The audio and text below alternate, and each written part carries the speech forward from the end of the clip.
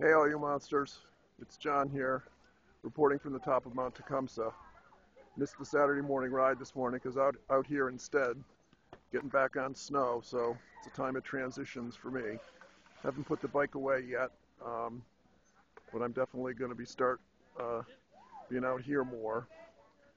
It's all about um, balance and stance, so I've got it in the metaphorical small ring, starting out easy, just working on fundamentals. Got new carbon fiber boots, latest in the technology. Take a look at these babies.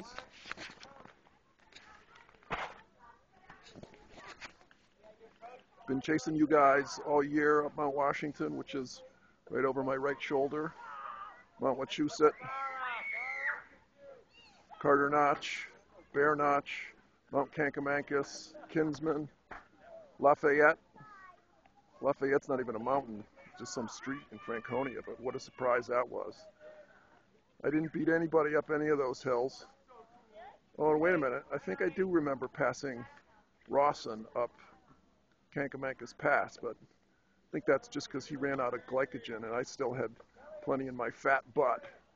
But uh, he waxed my fanny after lunch.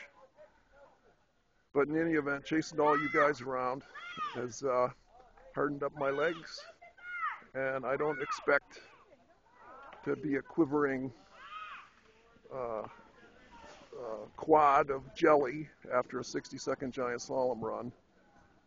Um, my legs are good and strong thanks to chasing you guys all around, and I'll see you soon. Let's give it a go.